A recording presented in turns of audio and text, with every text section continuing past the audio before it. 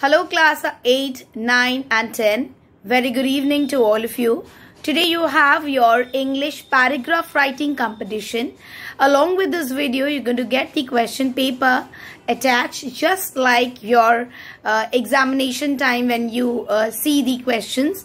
Uh, you will see that for each class there are three topics mentioned.